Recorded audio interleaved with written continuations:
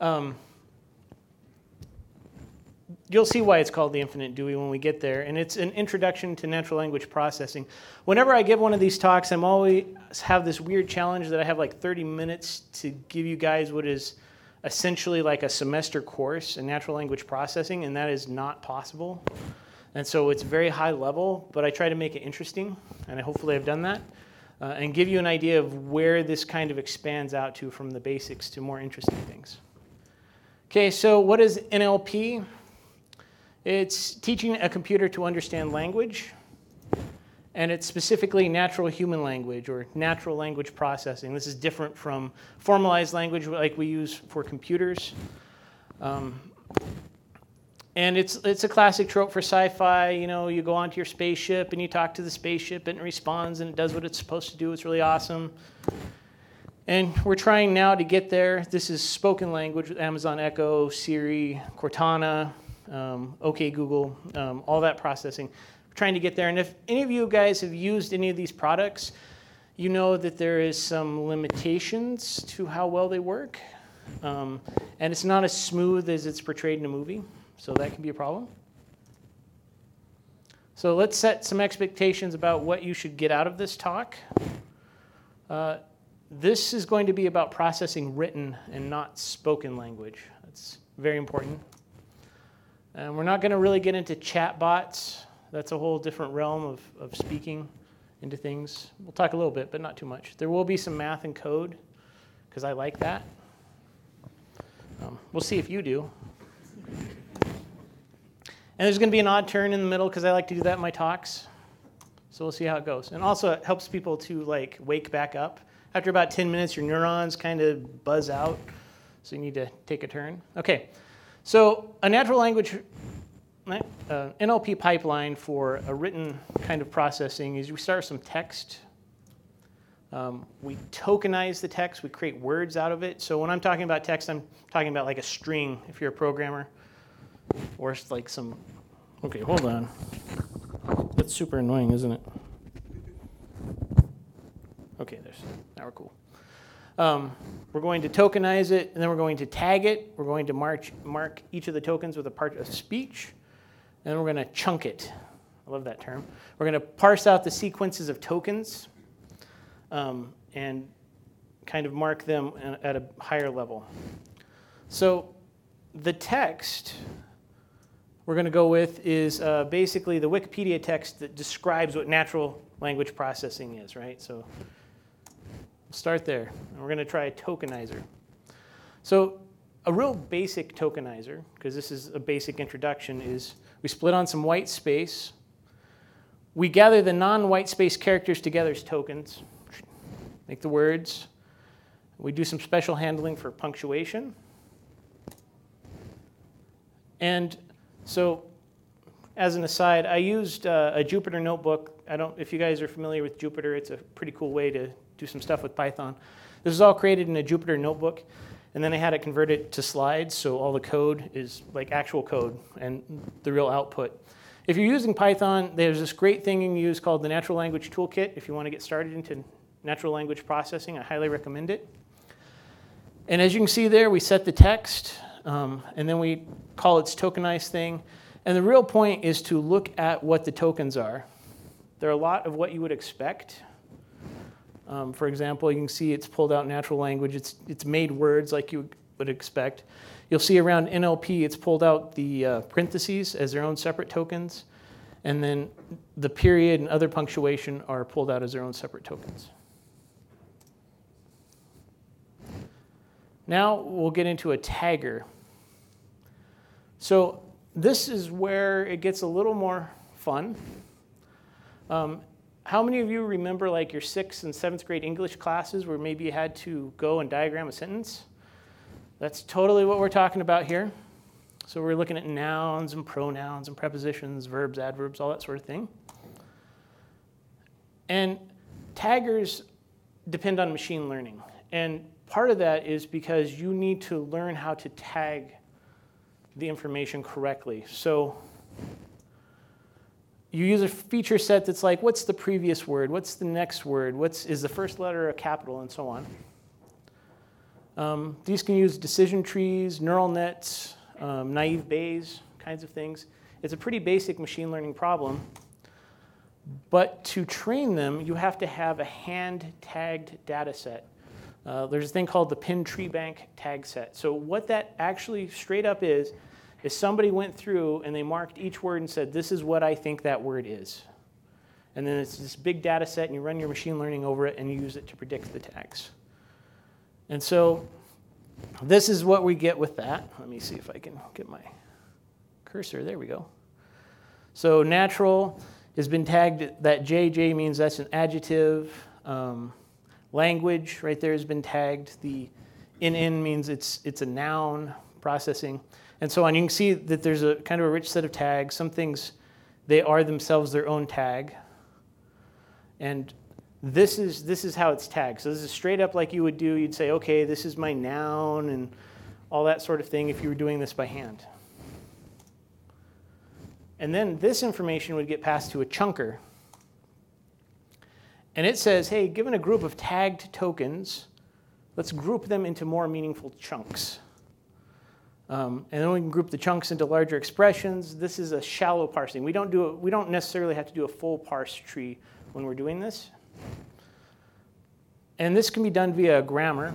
So this is a grammar to make a noun phrase. And a noun phrase, we could say, is composed of maybe a determinant plus some number of adjectives and then a noun. So give you an idea what that is. It could be wagon. It could be red wagon. It could be the red wagon. It could be a red wagon. Or it could be the large red wagon. All those could be grouped up into a noun phrase. And it is next to impossible to create a full grammar for a natural language. And the reason this is, is in spite of what your grammar teacher may have told you, natural languages, the grammar is a descriptive grammar. It's not telling you how to make the thing. That's, that's done by your brain. It is reflective of how we find the grammar is actually used, and it actually changes. And spoken language is way worse than written language. In spoken language, it's all broken up. When people are talking to each other, they take shortcuts all the time. They don't say words, they miss words. There's a huge information exchange via nonverbal means. All this is happening at the same time. So, verbal language is really hard to deal with, um, which is why when you speak to your phone or something, you have to be kind of precise about what you're saying, right? Because it can't see you, it doesn't know what's going on. Um, and this is just another problem. Like, it's really hard to do this because things that your brain thinks are acceptable for somebody to write or read and you can pull information from them, a computer is going to choke on. Most chunkers just do some small chunks. We don't fully parse everything. And natural languages have a lot of ambiguity. I can say, the buffalo, buffalo's buffalo. Right? That makes perfect sense if you parse it in your head. Would it make perfect sense to a computer? Well, that could be, that could be a problem. So they also, you can use supervised machine learning. And you can train a chunker by using tag chunks, just like the tagger, like the word, the lemma, that's the root, the position, the next word, next position, all that sort of thing. And at that point, chunking looks very much like tagging. You just have larger sorts of inputs. And here's an example of this. This is still what we've done here is we've a very specific chunker. This is the named entity chunker. And it looked over that tag data and it said, it looks like natural language processing is an organization. Which you're probably thinking, oh, that sounds silly, but it, it, what it's done is it said, this looks like an adjective followed by some nouns, and they're kind of grouped together, and you know, then there's this verb. So this is really like a whole chunk. Like this thing is, you know, natural language processing is an entity if you think about it. And that's what it's telling you. This is an entity. These aren't separate words, they should be together. All right. Okay, so some of the uses for this. You can do sentiment analysis. That's like, hey, does somebody like my company? You can go through and look at tweets that have your company in them, and are they good tweets or bad tweets? You could do named entity recognition, like I'm looking over a document. What's this document talking about? What are the things in it? Um, does this tweet involve something I know about?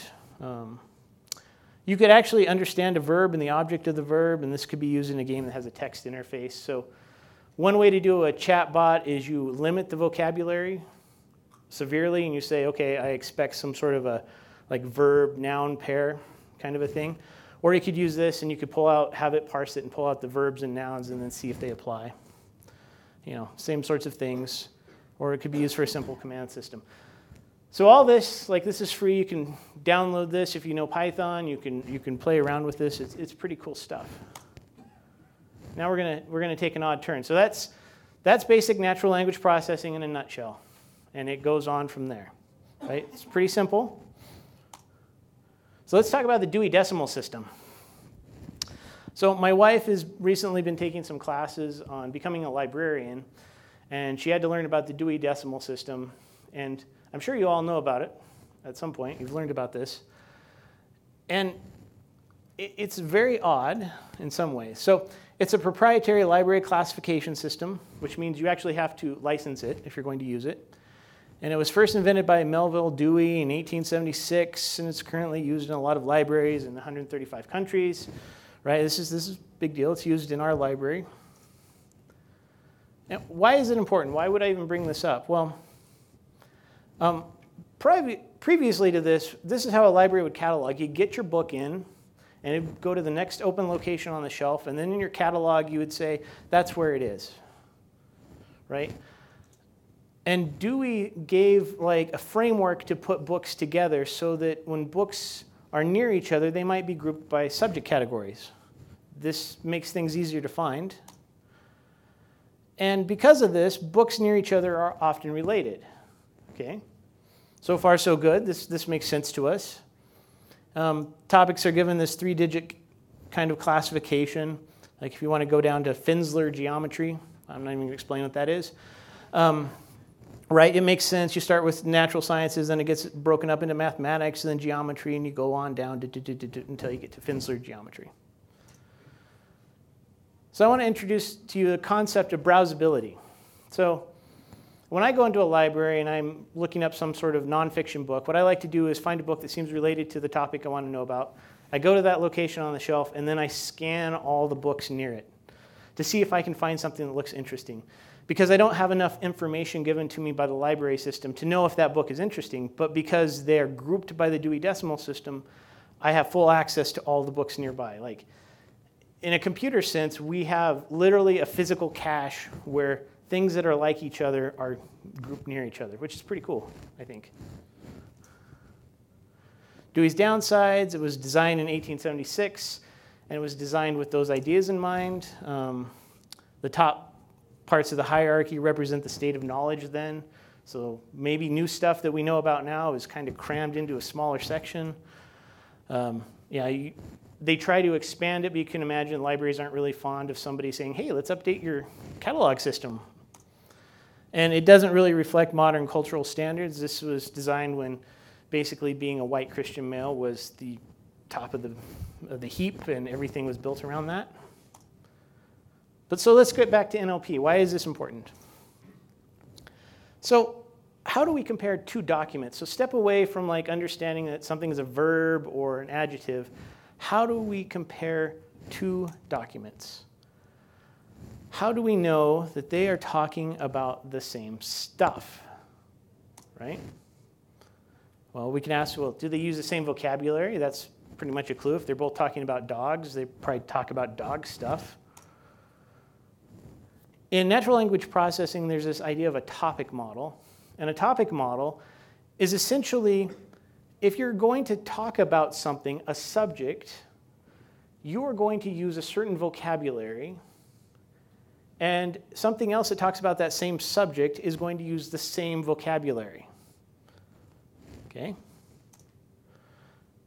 So, why can't we just go into the document and we'll just count the words?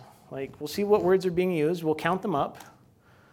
And we could calculate distances, we'll talk about that in a moment. It's kind of like a stock portfolio, but instead of investing in stocks, maybe you're investing in words, right? That helps you visualize this. But what do I mean when I say calculate a distance, right? If we just count up the words. Well, this is basically a generalization of what we would consider a normal distance. Like I'm going to go downstairs and rent an electric scooter and I'm going to drive it to my house. Like, how far is that? Of course, it's a lot of twists and turns, right? It's not straight unless it's a very spectacular scooter. Um, so we could start with Euclidean distance. That's a Pythagorean theorem. There are other measures we could use. Um, there's a cosine or angle distance, so that's measuring the angle between two vectors. That's pretty cool for some things. There's a taxicab or block distance. That's when you can't go straight, you have to go like, you know, around the blocks. There's actually many, many distance metrics. It's a whole, it's a whole science unto itself. And so let's just kind of go through this. So let's, I have this nice Python formula, and it's just the Pythagorean theorem, right? Pretty easy. And it's going to take the square root of this x, it's got these two points, and we're going to calculate a distance, and you can see there at the bottom it gave us a distance. That's cool, right? We're there. I, I hope we're all down with that, because it's going to get weird. Okay, well, so let's say I throw out x and y. I mean, it's just tags, right? I could say wind and rain. Doesn't matter, it's the same thing, right? We can see we can still calculate a distance. Well, we can say, well, what if those are two documents and we just counted up how many wind and how many rain references in the documents we got, and we calculated the distance. Okay, that's cool. Now we can say, well, you know, I'll just keep expanding that. Now I'm adding like more words. What I'm really doing is calculating the distance in a higher dimensional space, right? Well, yeah, so you, you can start calculating more words and, and you can just keep adding words. And you can go to some sort of like, you know, an n-dimensional space, however big you want it, and you can still, this still holds, which I think is really cool. Um, it's called the L2 norm, if you want to get technical. So we can get there and we can still calculate our distance. This is all real code, no smoke or mirrors.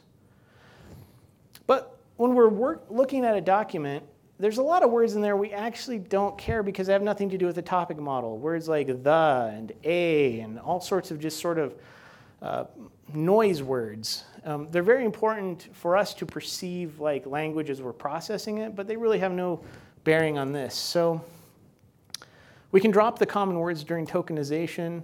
These are commonly called stop words, a, the, and so on. Um, I like, sometimes I do this myself. You go out and you just find the hundred or so most common English words and just say, if you see these, drop them out. Um, yeah, and they're so frequent that they provide little information. Actually, what they do is because they're so frequent and their counts are so high, the distance between those things actually overwhelms the distance between your words that you actually care about. So this is um, what an actual like tokenization formula looks like, and it's you know it's just a regular expression. We split on the white space, strip some words out. I like to get rid of all the things that aren't letters for this kind of analysis because numbers aren't going to do you anything unless I guess it's a specific term that uses a number in there. Um, then drop everything that's not a letter, and anything that is less uh, less than two characters we throw out. Um, so this is basically the same as what we saw before. This is just my own sort of hand-rolled tokenizer. Okay. So when we do this, we start to run into some problems, like what about synonyms, right? This approach has no concept of synonyms. If two words are two tokens, they are completely separate. And we could use a thing called WordNet to group words. WordNet is another open source thing that tells you kind of what words are and how they're related to each other, if they're synonyms or antonyms.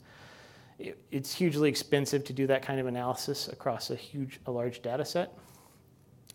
Or we can use word vectors. I don't know how many of you know what word vectors are. I could talk to you about them some other time, but um, that kind of casts words into a high dimensional space, and if they're close to each other, they're usually related somehow.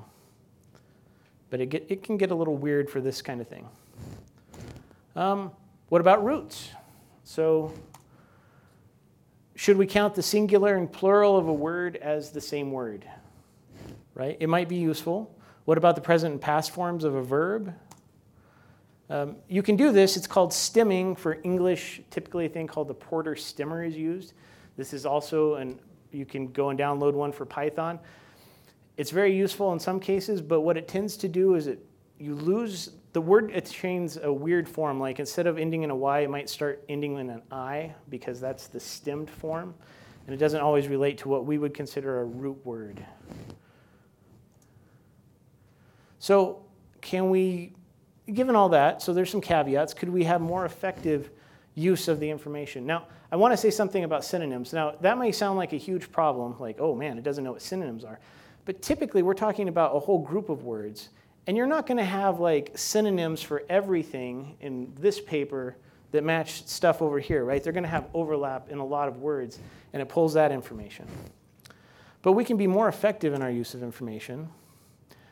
We can change the word weighting. So basically, we take the count and we can multiply it by some sort of weighting.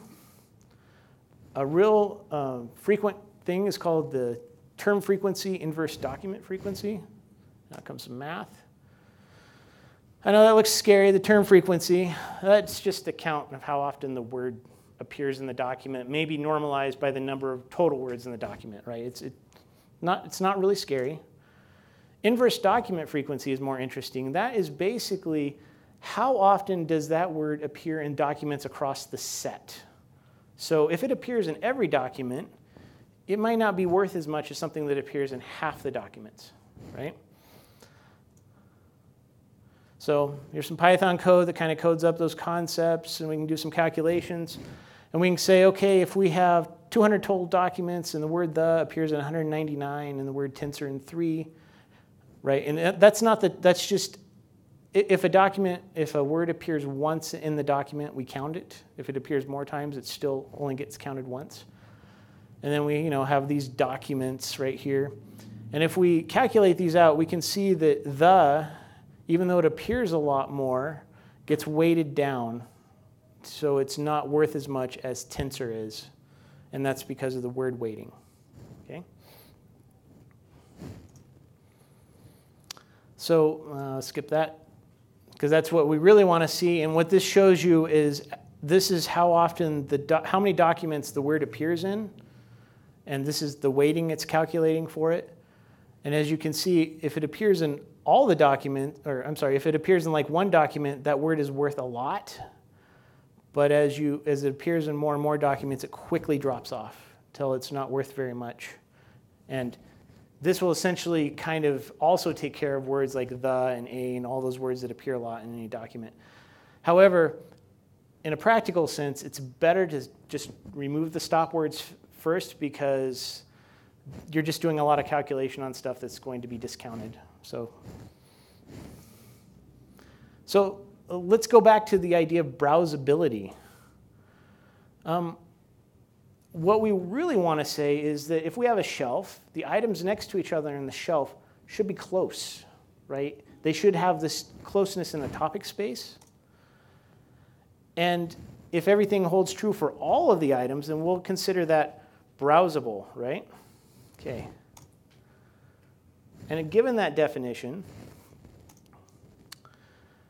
can we find documents which are close?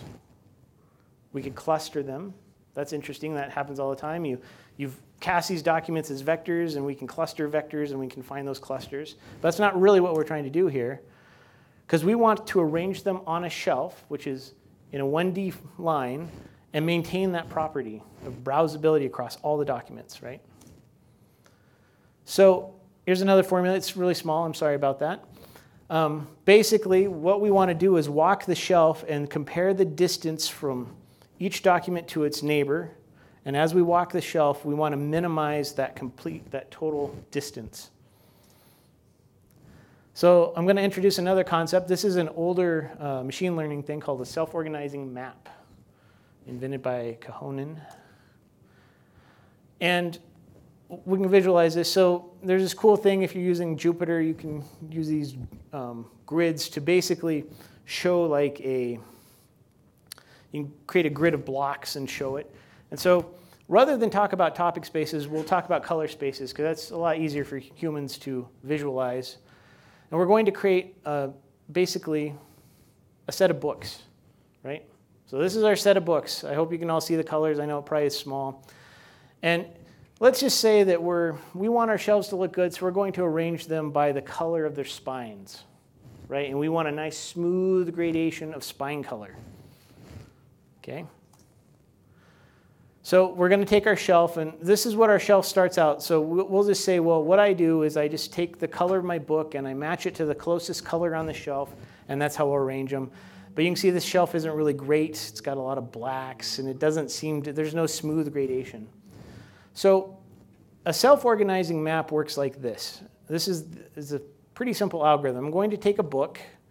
I'm going to match it to the closest color, say over here, put the book down on the shelf. And then I'm going to move the color on the shelf closer to the color of the book. And then I'm going to walk this way, and this one will be moved closer to that color a little less because we're a little further away. And then this one will be moved closer to that color. Da da da da. We'll go through and do it this way.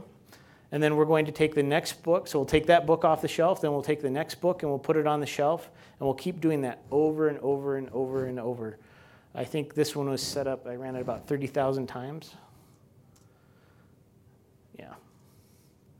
And this is what we get. So here's the books, and here's what the shelf ends up. And you can see that what we had is this mostly smooth gradation of color created. And that's, that's the self organizing map algorithm.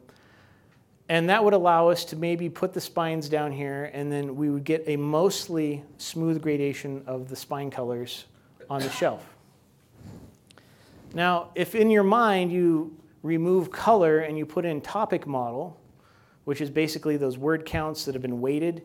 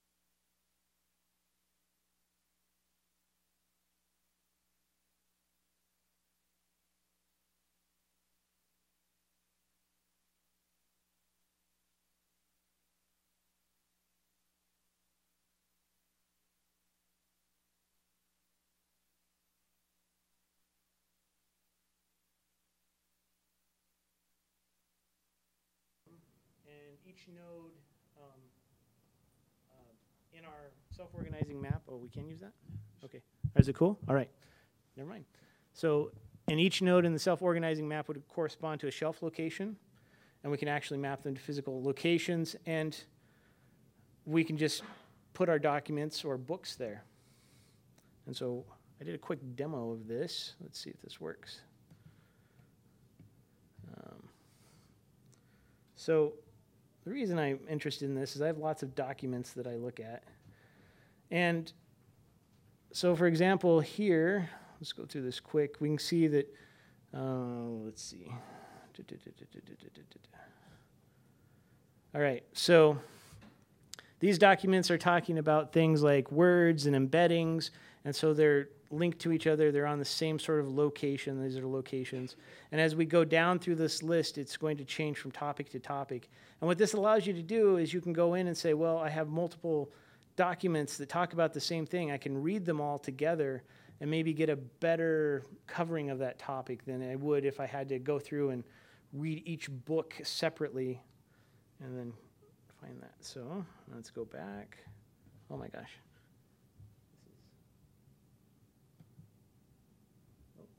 Uh oh. Don't worry. Oh boy. Um, I've lost my pointer. There it is. All right. We'll just recap this. oh man. Okay.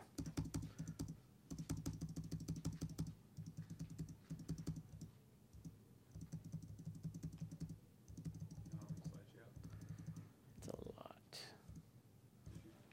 Yeah. Okay, there we go. That would have been a great idea. And what's interesting is we can always generate a shelving that, and for any given document set that maintains our browsability, and even for it, because it's a semi-random algorithm, it can produce multiple different shelvings that maintain that. Um, what if two documents map to the same node? That can be a problem. And it's not universal. This totally depends on the source documents. And we could use only nouns, only verbs, or we could remove proper nouns. The reason I bring that up is anything that was produced by Google tends to have Google in it, and so it likes to group things produced by Google. All right, and that's it. Questions? How do you deal with, deal with negatives, Uh, negative, negative. like nots and nos and things like? Uh, this has no, it doesn't, because it's dealing with a topic, there's, it's really hard to s- deal with a, not a topic, like, so it doesn't deal with anything like that. So there's a question of perspective. So scientific community talking about subject use a different set of words than average Joe Schmo talking about the same subject. So this would end up using or putting those two sets in different topic areas on the line. Okay, so the, the question is, if you have uh, perspective, if you have two different kinds of people talking about the same subject, um, what would what would happen essentially? So it would really depend. It's totally dependent on the vocabulary. So if they're using a different vocabulary, it would tend to put them further apart. If they're using the same vocabulary, it would tend to put them closer together. Um, this this happens like in another problem is like in financial documents, they might talk about securities or a security as opposed to a system where they're talking about securing a website. And so the word security is in both, but it means two very different things. So that's kind of the reverse problem, like what happens then. And that depends a lot on context. And that's actually an open problem, even if you're using word vectors, about how you deal with the fact that a word can mean different things in different contexts. There's another hand right there.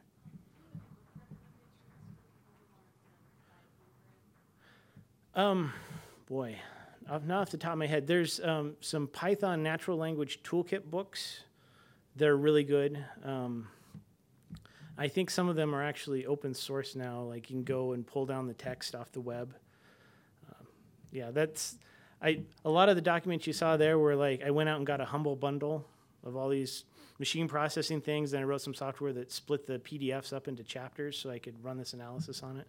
But yeah, there's there's tons of actual like websites and books to let you go in and play around with this stuff. So, any other questions? We have about five minutes. Yeah. How does the TF-IDF vector compare to like a word2vec vector? Is the word2vec always better, quote unquote? So, a word2vec vector deals with the context of a word itself, and it gives you meaning for the word based on the context.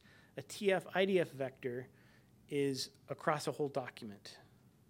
And so it deals with sort of the, the macro level of what that document means. And that's really the difference between them. So they're different tools. Yeah, they're different tools. You're, you're looking at entirely different things.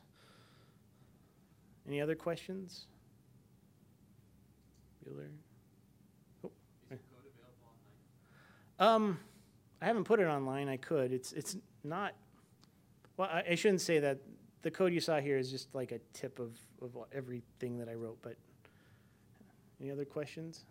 Yeah, you, you prefaced, um, that your wife is looking at library science. Mm-hmm. Is this a development for that specifically, or is this kind of, you know, the engineer side kind of saying, let's fix Dewey Decimal? Is this like the? Um, it's it's more like this is an interesting problem. Um, the, there are already like different classification systems. Like the Library of Congress has its own classification system. Um, but it, it's an interesting problem because if you think about how books are arranged on a shelf, it lends itself to a lot of information processing problems or even computer science problems about how you deal with how things are close together. So it was more just like, oh, that that's interesting, but how could I how could I make it, you know, how could I apply what I know to make it better? I don't know if this is better. I don't know if librarians would appreciate something that rearranges the books all the time. Any other questions? yeah. All right. Well, thank you.